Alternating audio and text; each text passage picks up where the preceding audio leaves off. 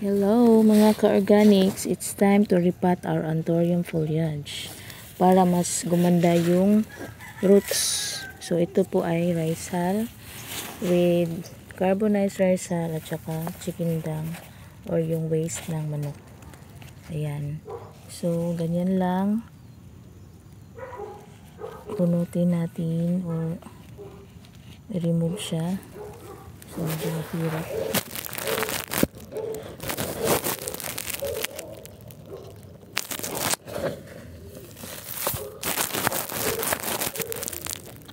Ayan. Kasi parang lumikit na yung ugat sa ano, pot.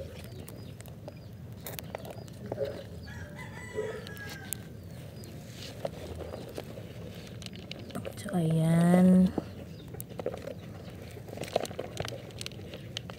Yung mga ganito po ay thermocoat po yan para sa mga variegated na tanim. So, kailangan nating i-remove yung mga coco cubes. Kasi yun yung dahilan ng root rot.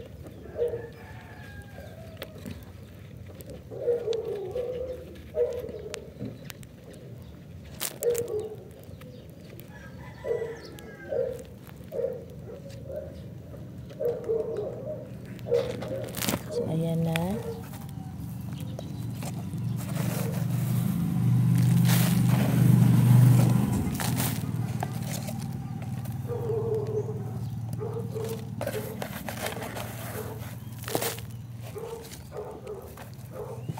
Okay na to. Pag may mas malaking pot, mas okay. Pero sa ngayon, naubos na yung ganito ko na pot. So, yun lang. Lagyan natin ng mga rice hull sa gilid.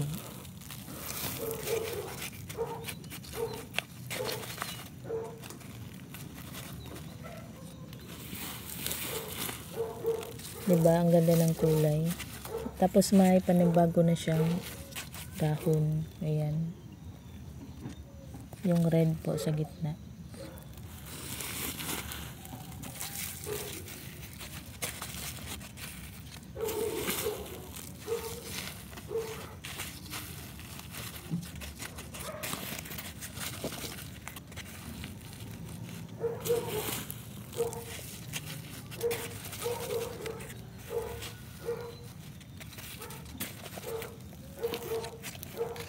Ayan. Tapos na po.